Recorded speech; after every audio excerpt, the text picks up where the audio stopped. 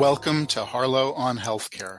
I'm David Harlow, and I invite you to join me by my virtual hearth as I sit down with healthcare leaders to discuss building the future of healthcare. Today, my guest is Dave Chase, founder of the Health Rosetta Institute.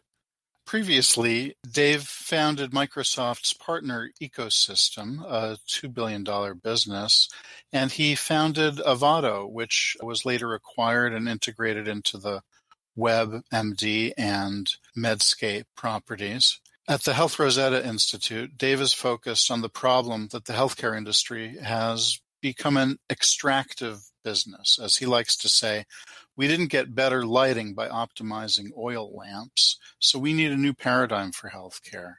We need to identify and scale successes that deliver on the quadruple aim the improved population health, more cost effective care, better patient satisfaction, and better healthcare provider satisfaction as well.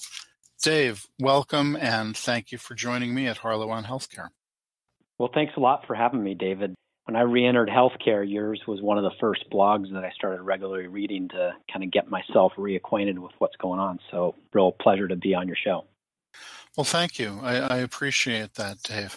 And uh, you have certainly done your share of writing. Uh, I would direct people to LinkedIn and elsewhere to see your posts on the problems in healthcare, some of the solutions that are out there, and of course, the book that you've recently published on the topic as well. As I've first seen your writing on the topic, you've really focused on the quadruple aim in healthcare. And now I see you shifting focus a, a, bit in order to zoom in on one particular area where you seem to be convinced is an area where we need to start if we want to achieve solutions in, in, in this realm. I wonder if you could speak a little bit about your focus on the quadruple aim and the shift to where you are today, or whether you see it as a shift. Maybe you don't.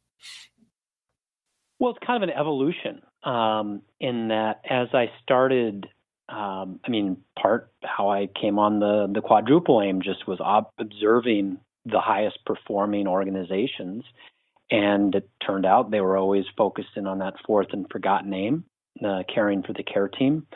Uh, but then, as I looked at uh, the problem and the many problems in healthcare, virtually every time that I did that and started peeling away the layers of the onion, it always came back to we just purchased healthcare really poorly in this country.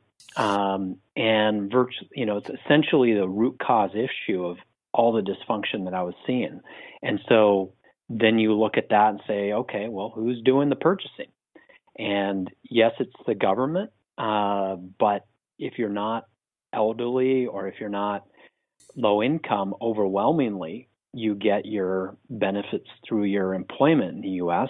It's one of the uh, unique attributes of our system, and uh, you know, really across the board, but but uh, no worse than in the employer space. We just do a terrible job of it, and and I realize if we don't fix that, all the things that we all care about, from interoperability and patient empowerment uh, would be near impossibilities. We might be able to do some things on the margins, but not make the wholesale change that many of us believe are necessary to have a much better health ecosystem. Well, it ultimately makes a whole heck of a lot of sense, Dave, that you, if you empower the purchaser of healthcare services and the ultimate purchaser here, or at least the Im- immediate purchaser for many, is the self-insured employer. Uh, em- empowering that purchaser is going to lead to change where otherwise the problem is too diffuse. Uh, are, are, there particular areas that you see as ripe for reform in the hands of a well-informed self-insured employer? Well, the two biggest problems that you know are in healthcare that aren't unique to the employer are pricing failure that is, that there's no correlation between what you pay and the value you get in return. And if there's a correlation, it's inversely proportional. Uh, and then, secondly, over treatment. And in both of those areas, there's a lot of opportunity. Take the pricing failure. There are just an incredible number of absurd examples to where it's really essentially the rule is vastly overpaying. Things like PPO networks, which you know uh, from their inception made sense, but they've lost their way. Now, you know, to be in a PPO network from an employer perspective is to pay for the privilege of massively overpaying. And so what you see smart purchasers do, and it's not just private sector employers. You, there's activity in California with CalPERS, which is their retirement system, doing things like reference based pricing, where they pay some multiple of Medicare since all the providers are uh, provider organizations are responsible for reporting costs. And you know typically you'll see in these reference based pricing they'll pay maybe 130% or 150% of Medicare. So it's it's well above what they've accepted for Medicare payment. But too often, what you find is employers are spending 250% or even 1,000% of Medicare for no apparent reason other than they're asleep at the wheel. Right. And I, I, think you've you've written about this, and we've heard this from other observers uh, as well. That in the on the part of employers, this sort of failure, this uh, being asleep at the wheel is, in a sense, uh, a breach of a fiduciary duty under ERISA. Uh, employers have a responsibility to manage employee benefit plans responsibly, and this sort of outsourcing of thinking about healthcare really is at odds with that sort of responsibility. Yeah, and historically, you know, ERISA oversees two areas retirement benefits and health benefits. And I think this is a mistaken uh, scenario, you know, up or a uh, situation. But I think it wasn't applied in the healthcare area because it was viewed as the employer's money as opposed to the employees' money. Because you know, in the 401k arena, if you're as an employer putting your employees' money into a you know Uncle Bubba's investment fund that's got high fees and terrible returns, uh, you are obviously not stewarding the employee's money as you should. Uh, and now that, you know, I would argue is always the employee's money, and that's certainly what the law says. But now that you have the vast majority of people have very significant copays and deductibles and quite high deductibles, it's clearly the employee's money. Typically, it's a 70 30 split employer employee. And with that comes a, duty that is very well spelled out. And you see areas like in the 401k arena where cases have gone all the way to the Supreme Court as a class action on behalf of employees and unanimously uh, winning, you know, on a part of the employees. Now you're starting to see that type of activity in the healthcare arena. It's just early days, uh, but it's definitely happening. I'm aware of dozens of very significant cases that haven't been filed, um, but they're definitely in the works. And what's notable is when big four risk managers say this is the largest undisclosed risk they've seen in their career, and their audit counterparts are metaphorically pushing away from the table and saying, we won't sign these financials if there's not an allowance for the ERISA fiduciary risk. That's a big deal. Um, and when companies start managing it carefully, it's just a completely different dynamic. I mean, it's kind of absurd if you think about it.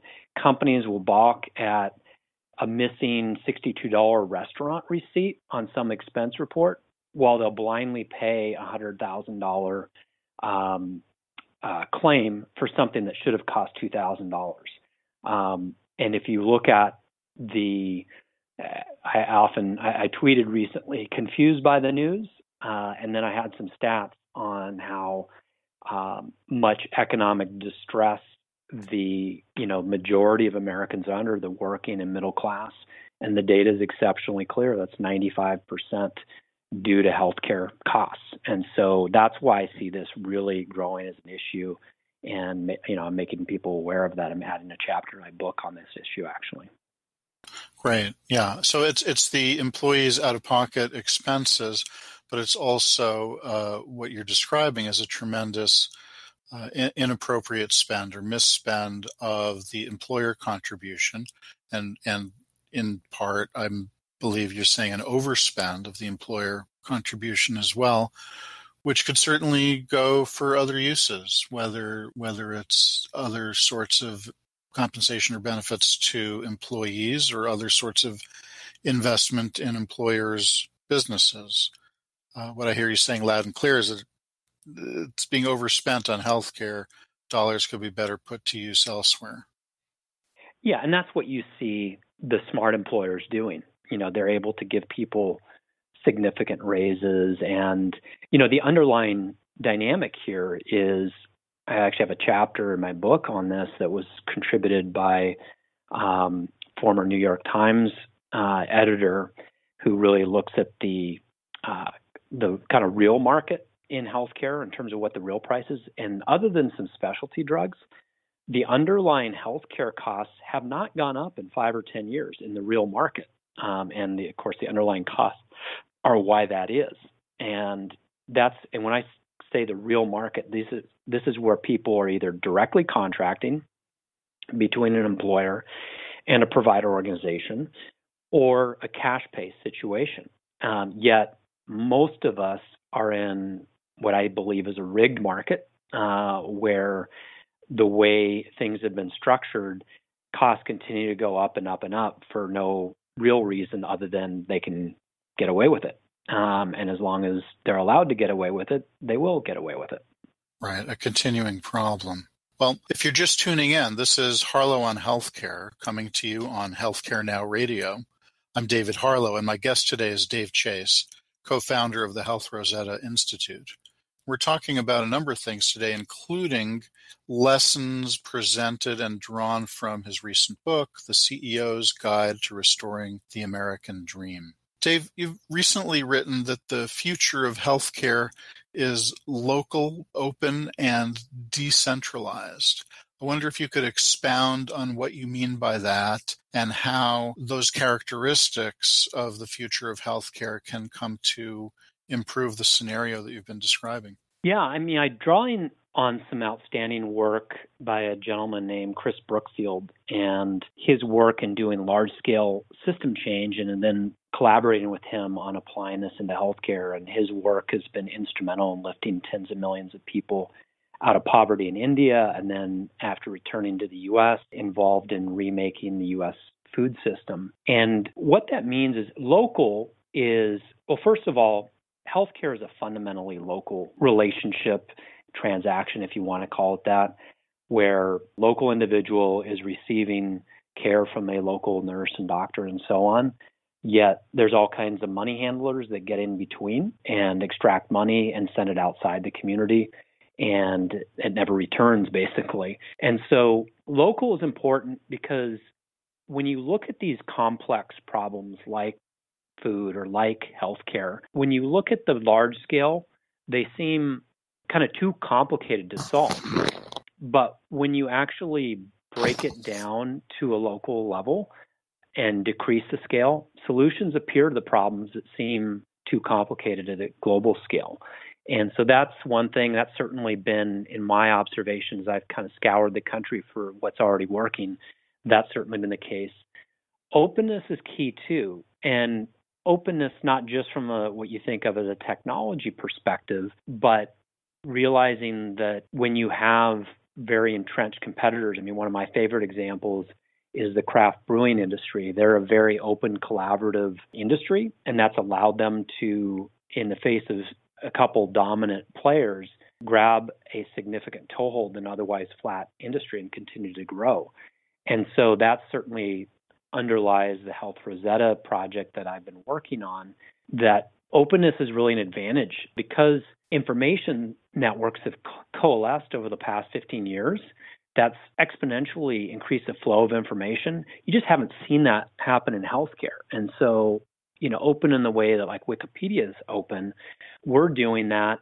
And the reality is there's no way to transmit proprietary ideas anywhere near the speed and the coverage when you open source an idea. And that's one way when there's 3 trillion reasons protecting the status quo, you can diffuse the impact widely and you find particular areas bubbling up and and I don't care whether somebody is in you know Boston or Bulgaria if they've got the best idea on how to address a particular thing let's learn it about it prove it out replicate it propagate it and that's where open really comes in and then decentralize is key where you can get the combined benefit of kind of a locality but with also the kind of scale economies Chris's team is doing that very successfully in the food arena.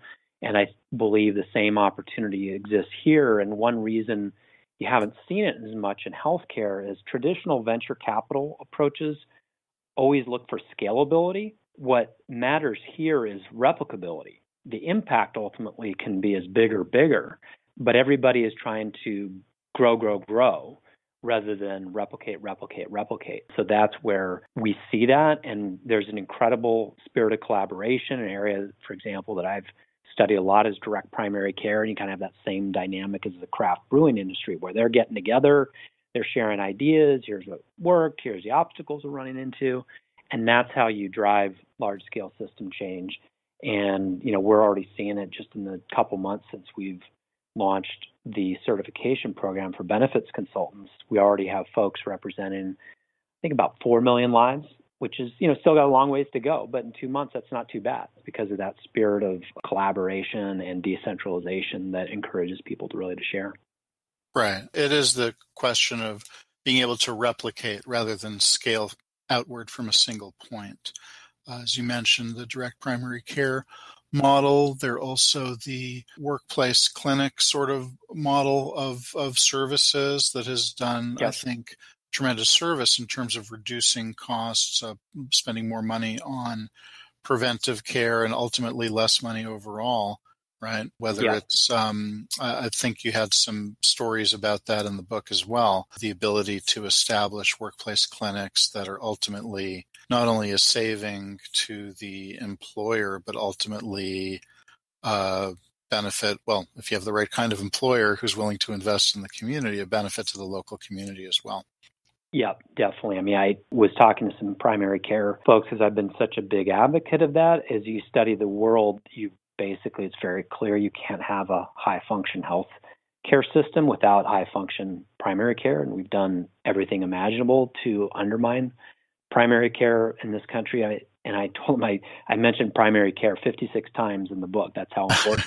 one of the other right. one of the other things that you got to get right, and we've really botched it and just turned primary care into kind of milk in the back of the store to you know refer people to high margin stuff rather than in a high function place with a comprehensive primary care they can address 92% of the issues that people come into the healthcare system for, which is certainly what you don't typically see here in the US.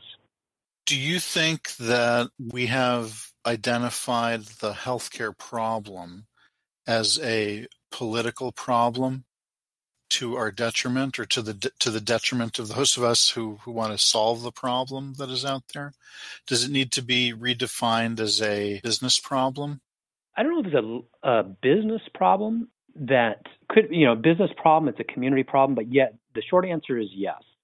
And there's no better way to freeze the status quo in any industry, healthcare included, than to politicize it. That's just, and when things get politicized in healthcare, you know, those trying to preserve this, the wildly underperforming status quo are kind of winning and are pulling that off. And so what you see in these communities is when a movement's really ready for development in a particular commercial sphere once it ceases to be viewed as political.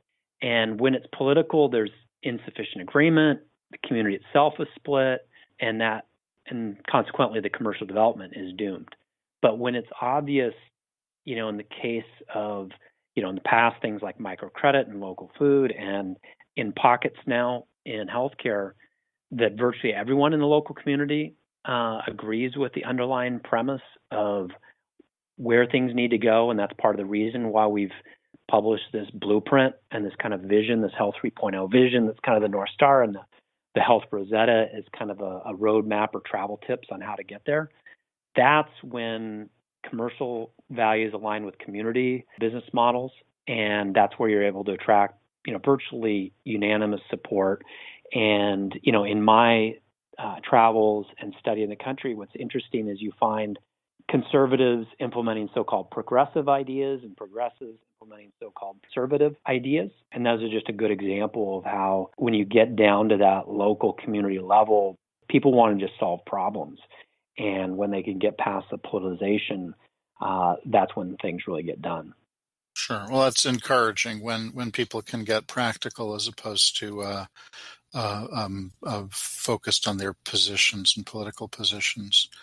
Um, in, in, the realm of of finger pointing, I think uh, one issue that's been on many people's minds has been the opioid crisis in this country, and there are a lot of finger pointing going on, and some folks point the finger at pharma companies, some folks point the finger at employers. I wonder where you come down in this debate. Yeah, I've looked at this a lot. Um, and what I found is, first of all, the issue is getting greatly oversimplified. Um, and it's going to make it very difficult to solve if we don't actually understand the full breadth. I found so far 12 major drivers of the opioid crisis. And when you look at that, um, just as any addict needs an enabler, the employers are actually the primary enabler on 11 of those 12 uh, drivers. And so, yes, government needs to be involved, and but it's necessary, but wildly insufficient. Um, it's not like things like polio or HIV or you know Zika or something like that, where primarily a government-led thing is going to solve it. And the silver lining on this, but also something that gives you pause, is you know when you when there was events like Katrina, you know, after the human tragedy of Katrina, there was a lot of innovation in uh, environmental building and there was a lot of efforts around education. And I think that's the silver lining here is a lot of these communities have been devastated just as much as New Orleans was. And and so when you actually solve the opioid crisis, that happens with a community wide effort. Community is sort of the antidote, if you will, for it. You actually go a long ways towards solving the larger healthcare dysfunction. Uh, that's also why it's a tough problem to solve. Is it is a multifaceted solution and problem, um, and so that's where the employers need to to step it up uh, when I don't. I mean, they've been unwitting accomplices to this, but they need to realize this is a big challenge for them and their communities, and it is solvable, but not with just doing some tweaks on the edges. Right. It's going to require a significant investment in all sorts of response modalities, uh, including counseling and long term investment in communities, as you described. Yeah, I mean the the visual metaphor that I've used is there's this um, sketch of some clinicians mopping up a wet floor, and we do need a lot of mops uh, given the scale of this crisis.